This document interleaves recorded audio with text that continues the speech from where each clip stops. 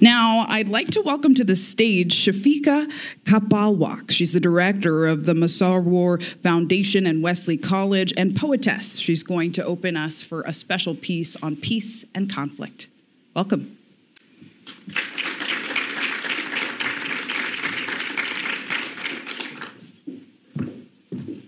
Good morning.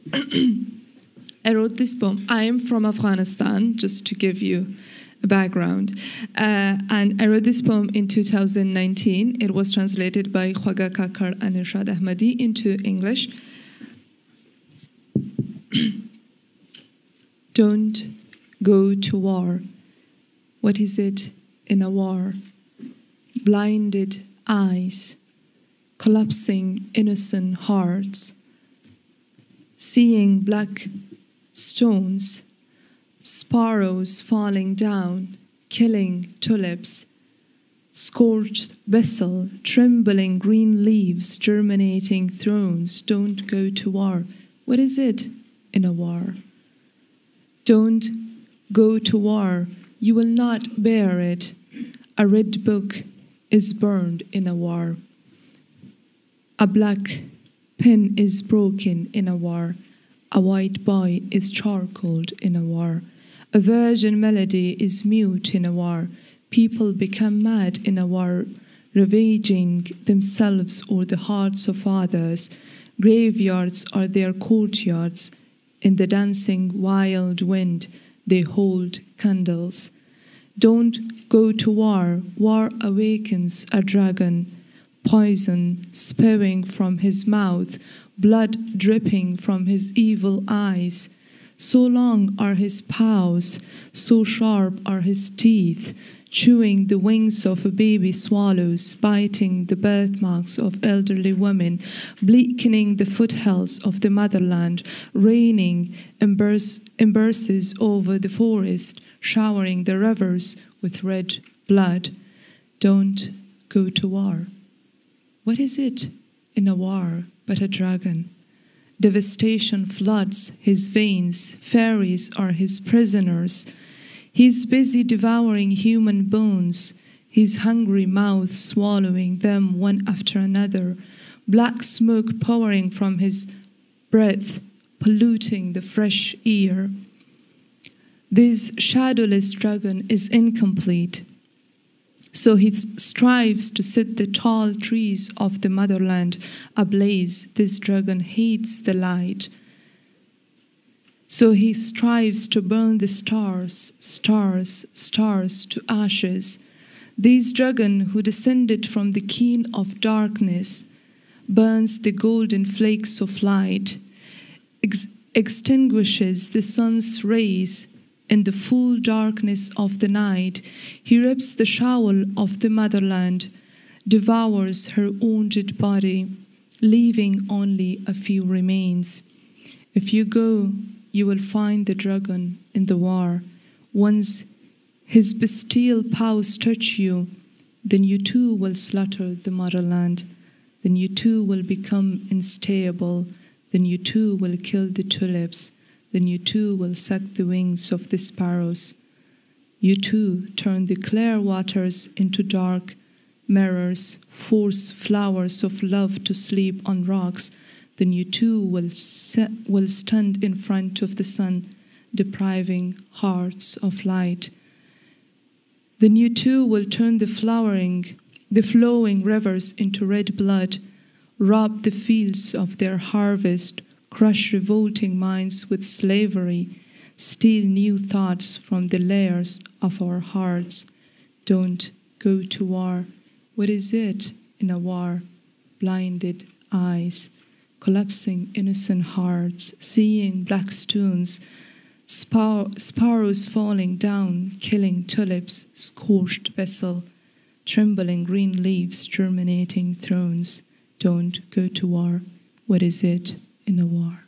Thank you. Uh, thank you.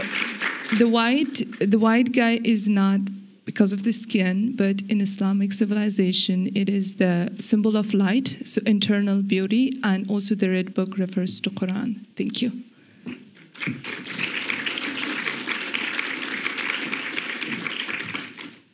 Thank you so much, Afika, for that powerful art and poem. I'd like to now introduce our next session, our first panel on peace and conflict resolution Women at the Front Line.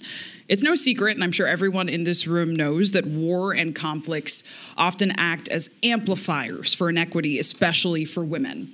If we just look at Russia's recent invasion of Ukraine, according to the UN Women and Care International, 90% of the 5.5 million refugees are women. 60% of the 7.7 million people internally displaced in Ukraine are women. Those are big numbers. However, women are not just survivors, they're also the people creating the solution. So, this panel will look at war and peace and conflict and resolution to discuss all of this. So, I want to welcome to the stage Melanne Verveer. She's executive director of the Georgetown Institute for Women, Peace, and Security at Georgetown University, and all of the panelists who she will introduce. Let's give them a round of applause.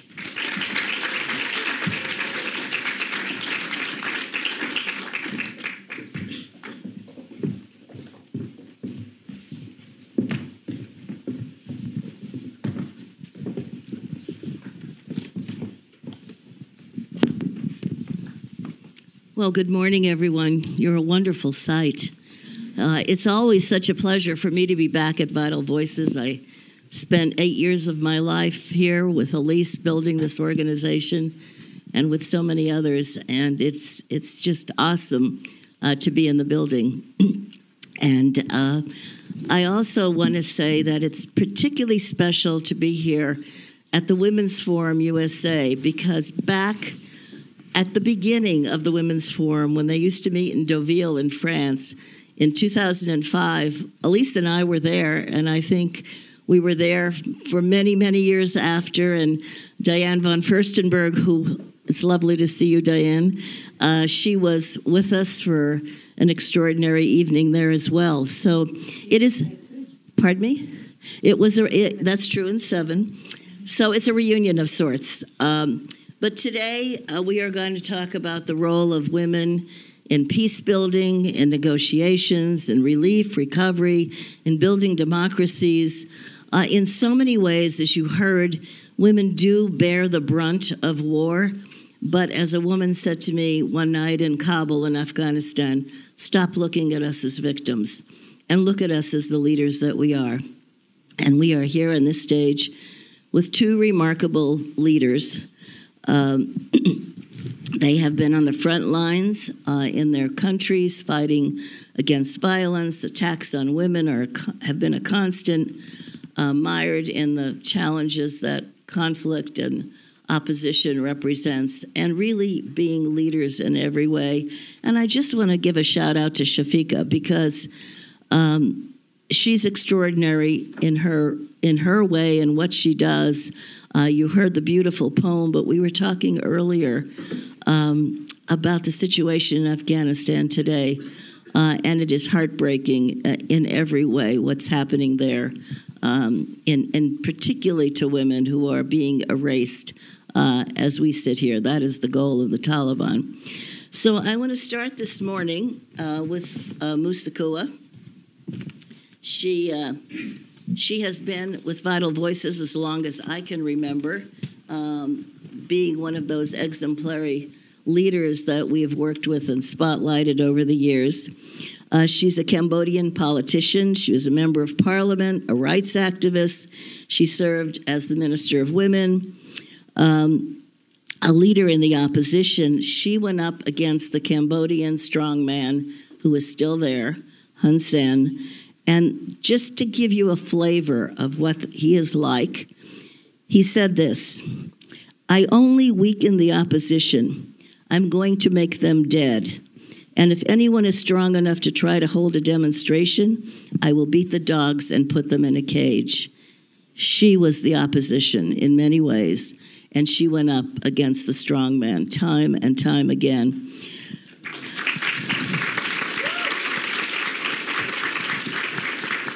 And of course, she's in exile now, as too often happens. You have to get away from these people before they do worse to you. Uh, but Sochua, your story is just extraordinary, and we've been really privileged to be able to work with you over the years. Talk about um, what it's been like, um, the struggle for democracy in Cambodia, about the most significant moments and challenges, so that our wonderful audience can understand what it's like to take on this kind of cause. Before I talk about it, I wish to say how inspired I am coming back to Vital Voices, to the Women's Forum, and Ambassador Verveer. We have been on this journey for a long time, and it is much, much longer ahead of us. And this forum is very, very meaningful to me at this moment to my sister Kim Hun, my Cambodian sister Kim Hun, who is with us, who is now part of Vital Voices. Ambassador Verveer, you asked me, how do I survive, right? And the strong man, the Prime Minister of Cambodia, the illegitimate Prime Minister of Cambodia, just said, I will destroy the opposition, whatever it takes. I want them dead. And I want you all to come to the State Department this Friday at 10:30 because the Cambodian diaspora, especially the women and the women from Myanmar, from Hong Kong will come together to say to this illegitimate prime minister, we you we will never be dead because of you. We will die for our country, for our women, for democracy and we want you behind bars. So please come to this rally with us at State Department on, the, on this Friday. She never Um, stops. as, as long as I've known her, Democracy been never stops. Um, you know, genocide uh, was over. Gen- Genocide in Cambodia was over 40 years ago. My, my parents died. Over 2 million Cambodians died in less than four years. That was 40 years ago. Armed conflict, over. That was 40 years ago. No more landmines, few landmines left. Over 40 years ago. But does it mean that there is peace in Cambodia? No. No, no war doesn't mean there is peace. There's peace only, only when we can do the following. When women can go to school. And if there is no school for women, how do you raise a nation? How do you raise the whole world? The, when there is corruption, there is no peace. When there is corruption, who's the first? Who is the first one to be sold to human trafficking? Who's the first ones to be raped, to be tortured? Women, young girls. So to us, it is essential that we continue this fight. And I want to say that Cambodia is forgotten be- because of Ukraine and Myanmar and other wars around. But I don't think it should be forgotten because democracy, when it is attacked anywhere, democracy is attacked everywhere. And that's why it is important to bring democracy to the middle of the table when we talk about peace. Peace, that's when the big guys talk about peace. They talk about no more, if they can, no more weapons and all that. No. Peace starts at the grassroots level. And this is what we are doing at this moment. Going back to, to the grassroots and reconnecting, reconnecting, continue to connect with women at the grassroots. To talk about who am I as a woman? What does it mean to be a woman? It starts by being nourished in the belly, in the belly, to have the right to be born and to be free and to have the right to make your own choice. And to women, when we make choice, a choice, it's not about us when we make a choice, and we always have to make a choice. You wake up in the morning, you have to make a choice. If there is corruption and you are poor, that choice is between feed, feeding your family three meals, two meals, one meal, or no meal at all. It has to stop. This war against women has to stop. And it goes down to corruption, it goes down to feeding the pockets of the autocrats, of these corrupt leaders who remain at the uh, global stage. We cannot accept to have them travel the world when they kill their own people in their own countries.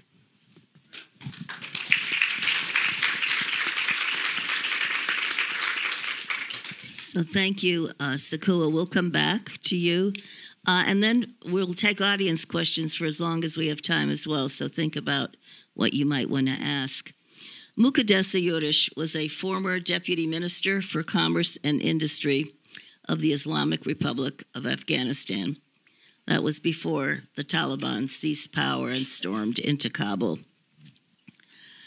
And her life, uh, like so many others at that moment, was thrown into turmoil. And like Shafiqa, she had to go into exile. She was evacuated um, and had to leave so much behind, um, except for what she could put on her back uh, as she uh, as she left in haste. Because as a woman who was a leader in Afghanistan, not only a leader, but an economist, someone skilled at business, someone who was in the ministry doing this work in a place that was not always easy for a, a woman to, to excel, particularly uh, in this field.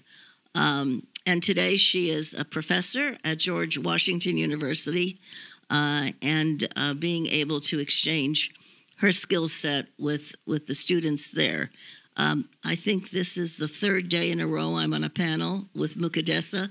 She has been sharing her experiences um, with audiences and just an extraordinary person. So I hope, Muqaddesa, you can not only tell us a little bit about the struggle in Afghanistan when you were there, because as, as um, you just heard from Sochua, it wasn't always easy in these situations, but what is happening today? Thank you, Ambassador. Um, I first want to say uh, it's an honor always to be here. And at least as I was, I wanted to you and Diane, as I was coming here, I got off the metro, I looked at my watch and I realized I need to catch an Uber to get here. So I sat in this Uber and the guy told me, he asked me, What is this place you're going to? I told him it's a global embassy for women. Um, and he, you know, almost turned back and said, I have never heard of that. Men don't get to have an embassy. So, uh, and it was very interesting. So, um, I think I, just being here, least I want to thank you, Diane, and all colleagues who have been involved for such a long time with Vital Voices. It indeed is a special place. And when we got here, he got off and took a picture of it, and he said, "This is very, you know, I've never heard." So uh, I actually didn't ask him that, but he, um, yeah, he, he was quite surprised uh, just hearing that women have a global embassy. He said men don't have one. Yeah, so the power of women. Um, Ambassador Verveer, um, thank you so much for you know giving a little bit of a background. Um, uh, I was in Afghanistan. I've, I've been born um, in Afghanistan. I was raised there, but I think post 9 11, uh, when the international community arrived in Afghanistan and the Taliban regime back then was toppled, um, it certainly provided a lot of opportunities. Uh, it opened up spaces for women uh, to be able to first go back to school, but also, you know, to come forward and be part of the public life. So I certainly um, invested in those opportunities, not only myself, but my family. And then um, when the Taliban arrived back in Kabul 2021, by then Um, I had a long career in the government. Um, it was a tough job because we were trying to build institutions um, in the middle of a war.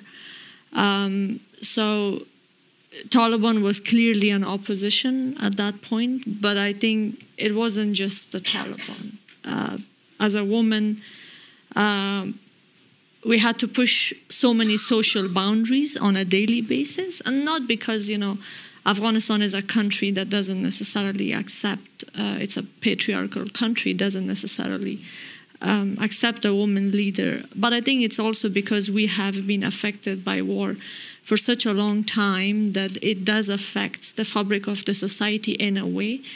Um, that it makes it difficult for women to exist. Um, I think those five years of the first Taliban regime uh, essentially erased women from the public life, and you do, you don't really realize what ty- what sort of an impact it has once you put women back in the society, and then you start seeing that everybody sees them as an alien.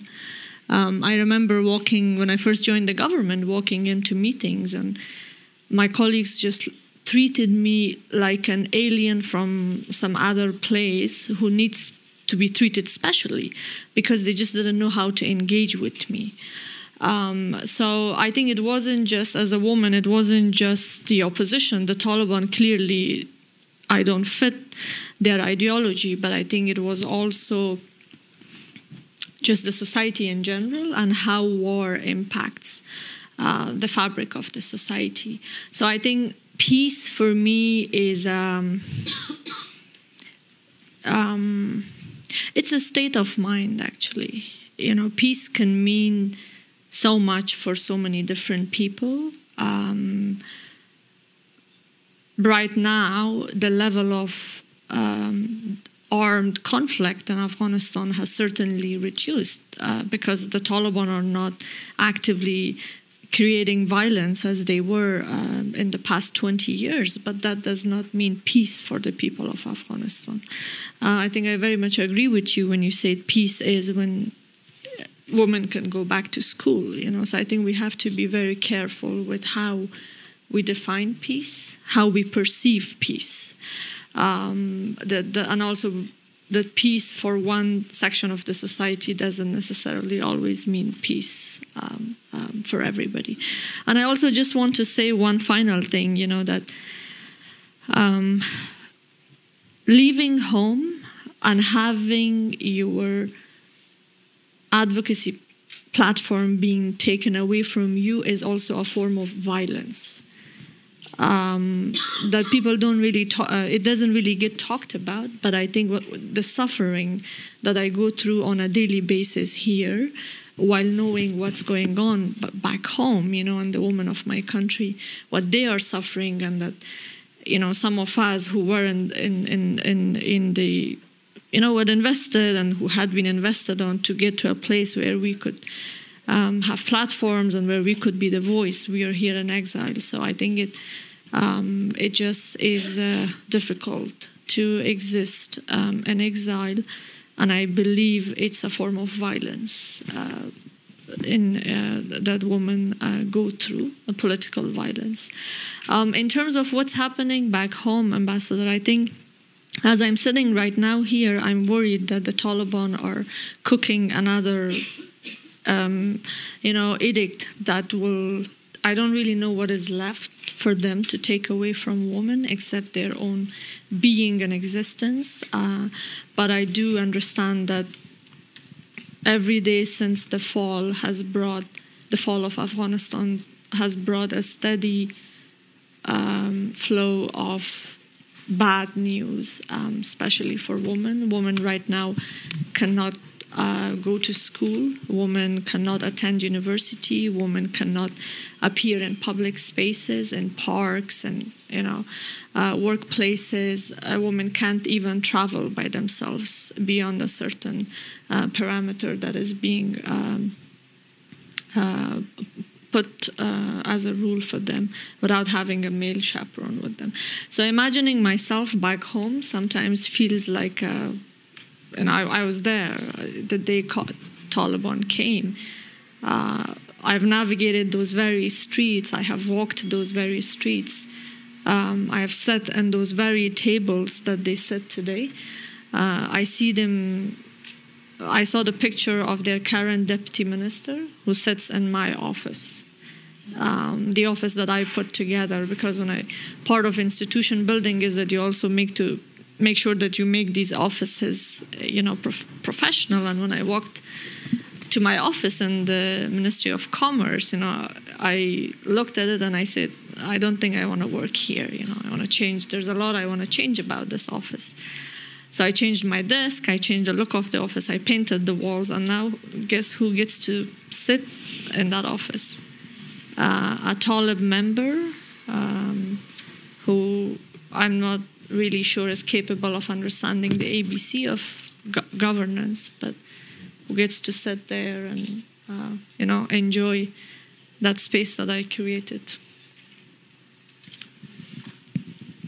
It's really a very, very terrible time uh, in Afghanistan for women. And as Muqaddesa said, there's every effort being made to erase women, the face of women in Afghanistan, and every single aspect of their lives is being regulated in the most horrific ways.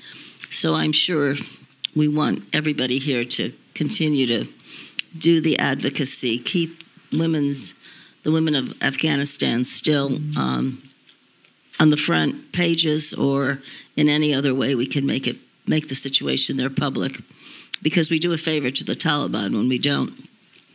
This panel's not just about peace building and um, the role that is played in societies by women, but about women's leadership. And both of you are leaders in extraordinary ways.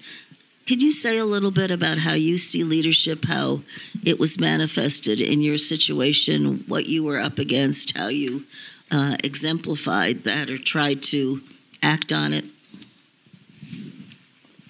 I think it's all about daring to make change. I was the first woman to run the women ministry in 1998. And like you, the first two weeks at the ministry, I said, well, I'm going to change this proverb, Cambodian proverb that says, men are gold and women are just a white piece of cloth. A white piece of cloth, can you imagine? If it is stained, it is stained forever. If the woman is beaten, she's a bad woman. If she's sold, she's, she deserves it, etc., etc. With the women's movement, because I came from the uh, NGO civil society, I led the women's movement for peace, marching for free and fair elections. We changed it to man, you can be gold, but we are precious gems. Neary Rattanak. Anyway, so I think it's about daring to make change. And the hardest change to make, you know, is against your own cultural, social values, which imposed on you what you can do and what you cannot do. You see me wearing my Cambodian, my traditional outfit. I would rather be wearing pants. But my society says you can't. But I make that choice today to wear my traditional outfit in a global stage. This is a world stage. Just to make that um, point that Cambodia, the struggle of women in Cambodia, democracy in Cambodia cannot be forgotten. You cannot just think about Ukraine today and think about Myanmar tomorrow and think about Hong Kong again. Uh, no, you have to think about the whole thing democracy and human rights, and the fight for freedom, the fight for dignity, the fight for respect, especially for women. You have to think about it all together. So that is the first point I want to make, which is about change. The second point is about being transformative change, but transformative type of change, meaning that what we know, the struggle that we have gone through, we have to share. We cannot cry in pain in silence. That silent in the pain in silence is negative pain. You have to move it toward positive pain. It's like positive peace. Positive pain is to cry out loud together. Vital voices. This is what we are. And to be also be like water, like what the Hong Kongers are saying. Be water. If the water hits or a mountain or a rock, the water, the flow of the water of the river doesn't stop at the rock. It can't stop, but it eats away the rock. Or it finds another way to move, find another path. That's being creative and dare to be creative. Specifically, I think because this is the digital world, it is important, and we are doing it at this moment. Kim Hun and I and other women, we are the diaspora, Cambodian diasporas. We have the freedom to speak. I have a microphone here. In Cambodia, if you have a microphone, you say one word, you are in jail for up to three years. I have to go to jail. I, if I go to Cambodia, I'll be in jail for 42 years. I want to go to Cambodia, but they won't let me go to Cambodia. Anyway, but it doesn't stop there. We have to fight from outside. But fighting from outside has to be connected with the fight inside. So every Saturday on, on weekend, we Zoom. We use Zoom. We use uh, Signal to train the female candidates inside Cambodia because four months from now there will be elections again. And we want free, fair, and just elections where women from opposition from anywhere can run and be safe to run. And me, doing Zoom with women who can hardly read and write, you can't imagine. But they can do Zoom. We spend hours telling them, you see that little, little picture that looks like a camera? Push it. Or you see that little picture that looks like a microphone? Push it. It takes hours, but finally, now we are training women inside Cambodia to learn, to, uh, first of all, about themselves. Why is it important to be in politics? Why is it important to be local and then vital voices? And to make it, that, ch- that change comes from women. Women as candidates and women in elections, in free and fair elections. That's what I am pushing, we are pushing for.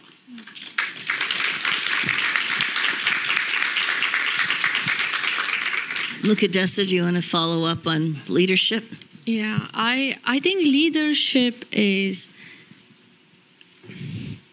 making choices and also choosing your battles and being able to prioritize which battle do you want to fight. Um, and I say this because the context from which Shafiqa and I come from, again, you know, I emphasize a lot because I know we are unfortunately, as Afghan women, we are too often, you know, perceived as victims of war only and or there are cer- certain cultural connotations that employs that you know afghan woman that's how it runs in their culture. So i always emphasize on that to make sure that everybody understands you know that you need to look at it it's very nuanced and you need to look at it based on the context um, and the background um, that we come from. And you, you need to see them as an outcome of the socio-political,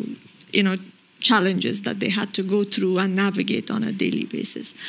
Um, and just to maybe illustrate that a little further, I want to give you an example of um, uh, how I was perceived by my male colleagues um, as a woman leader.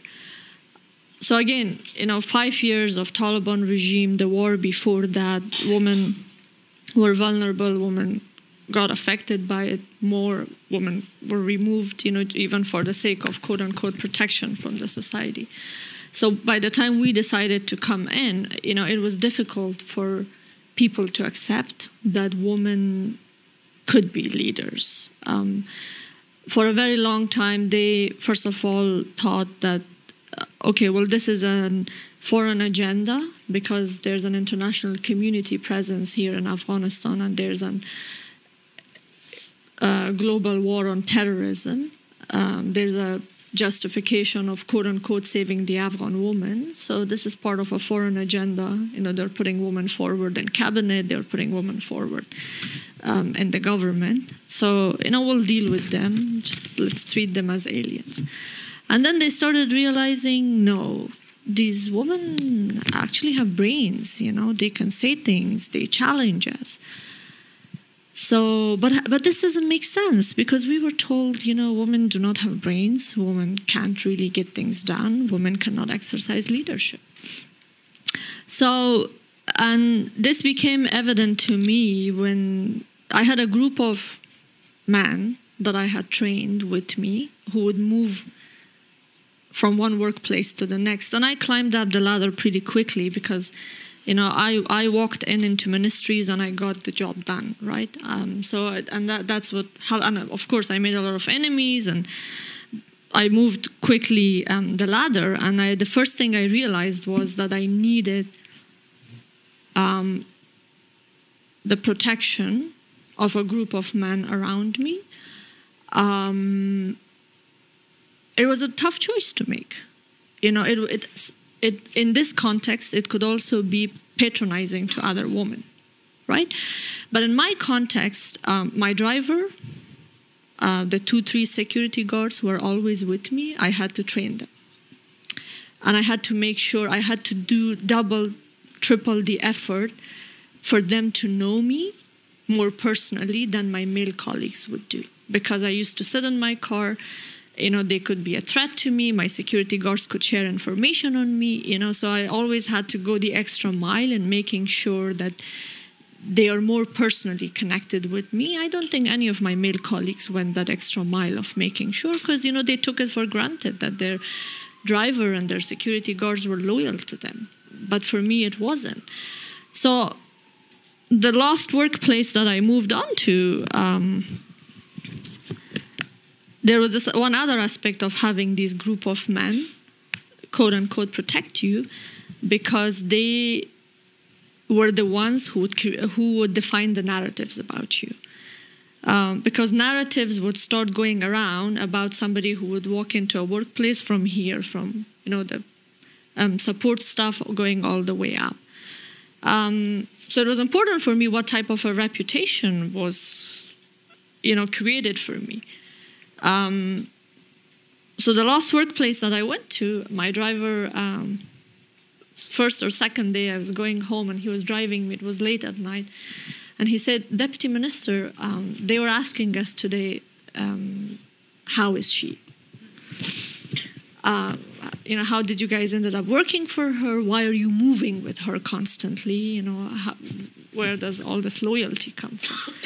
And then I said, Okay, so what did you say? And he said, I told them, now you have to um, take a note of this. She said, I told them, she is a manly woman. you don't mess with her. And I just didn't know how to react at that point because his definition of me as a manly woman was patronizing and condescending to, to every woman, including myself. But in that context, it made sense for me. I said, okay, good. If this is what works, let it work. Right? That was not my battle. Again, going back to choosing your battles. In that moment, my battle was not to train my driver on the connotation and the patronizing and the condescending and this and that right? I needed that protection. And the fact that he said, don't mess with her, that's what I needed. You know, and then it would transfer from here. Once the drivers and the security guards had that conversation, it will go around to all the ministry. Then people didn't dare to mess with me. People didn't even know where that came from, right? But I had plotted my drivers to say that because that's what I needed to go around. My woman card, I've used it because it was tough. it was so tough. You know, I couldn't just walk in everywhere and say, oh, you know, I am the, the woman leader, please don't call me. My male deputy ministers and I, the three of us, there were two male deputy ministers and there was me, and we had to go um, into meetings. Their cars would just pass by the security checks. But when it came to me, they stopped my car because they wanted to harass me. They wanted to take a look. Oh, there's a woman inside the car. She's a deputy minister. Let's harass her. You know, let's just ask her questions. Nobody would ask my male colleagues for their IDs. They would just pass by. They were deputy ministers. But they would stop me. And uh, just because they wanted to take a look inside the car, who is this woman? Um, and you know, and all my male colleagues knew that. They knew that none of the male deputy ministers would get stopped, but I was. And then I would take out my woman card, uh, and then you know, I would say, "What's going on?" And my um, male colleagues, I I trained them to say this, and then they would take out their head and say, "There's a woman inside the car." By woman, they meant, you know, this was like in a very like protection sense. There's a woman inside the car, so you don't want to take a look inside. Let us pass through. They never said there's a deputy minister inside the car. It was tough for me to exist in those moments where I saw that these connotations were patronizing, right? But I had to choose my battles. And when I and, and it was tough. I couldn't I couldn't you know, start arguing in all of those moments. If my security guards could say she's a woman and it would get me through easier than them saying she's a deputy minister, I'm a woman. Poor woman, let her go through. Right? The deputy minister and me would then deal with everybody once I was inside the meeting. So, so for me, I think, yeah, I think leadership is very context based. Leadership is about ch- choosing your battles. Leadership is also about making choice and exercising agency. An agency, I always say this agency doesn't always, in the short term or right away, translate to well being. And it doesn't have to. Sometimes it's only about surviving, but as long as you're making that choice to survive, it might not right away mean well being for you or for the woman or men of the globe in general, but if it makes you survive, then that's what you should do. So we can imagine ourselves in these circumstances. You know, Muqaddesa, listening to you, I remember um, meeting a very young woman who decided that she would um, try to be mayor in a small town in Afghanistan. One with tremendous problems, huge challenges that no normal person probably would take on. And the men were extremely hostile to her. Except things began to change and get better, and life was improving. And the only thing they could call her was Mr. Mayor. And so, somehow, having a skill set that men don't want to recognize uh, can't be accommodated completely. You have to have that Mr. in front of you. anyway, I thought we could take audience questions, but I'm getting all kinds of signals. I have allergies, so bear with me. But I, I just maybe ask each of you in the minute or so we have left one sentence. What would you advise um, our audience in terms of what they can do uh, to make a difference? Just one sentence each. Some a guideline.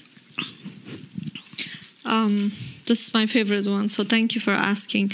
I didn't even know. I um, too often I ha- too often the women of my country has been viewed as intervenable objects and as victims of the war. I, if there's one thing I want each person in this room um, to do is to first of all challenge um, their narratives of how they perceive women elsewhere, um, and also to do not um, extend their conception of emancipation and freedom to women of the other countries. Um, to take a more nuanced approach, uh, you know, to the type of work that they are doing, whether it's development, whether it's uh, supporting women leader elsewhere. I think always try to view other women as agents in their own rights. Thank you. The stop sign is staring at me, so very quickly, Sochua. Very quickly, please tweet. Now, what I am saying, because if I tweet, I have family back home. They'll be put in prison. And I'm not safe here if I tweet those words, but I still tweet a few. But you can tweet everything that we said here. Please do, to give us that voice that women who are in that part of the, our world cannot say the words that they wish to say that makes a whole lot of difference in the way men run the world. Tweet. And there you have it. So let's please thank um, Muqaddesa Yourish and Mu Sochua for their extraordinary leadership and all that they continue to do to make the world a better place. Thank you both.